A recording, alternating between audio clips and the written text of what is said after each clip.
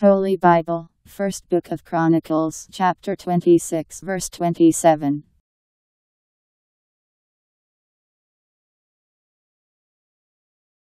From the goods taken in war, they gave, as a holy offering, materials for the building of the house of the Lord.